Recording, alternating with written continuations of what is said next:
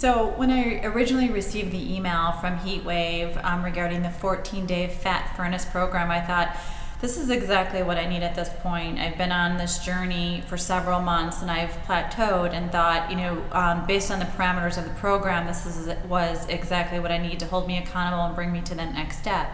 And so um, came in for my initial meeting with Sylvia and thought at Heatwave and thought, oh my goodness, you know, this is going to be, you know, extremely challenging, but it's going to be the level of accountability that I need in order to help me reach my fitness goals, or at least that next step in my fitness goals.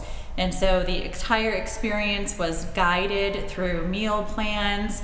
And um, what I think was one of the most important things was the overall accountability, accountability that Sylvia held us to here at Heatwave um, but the appropriate level of support as well. So, guided meal plans um, were excellent, more than enough food, more than I'd actually eaten on any of these weight loss plans that I had been a part of.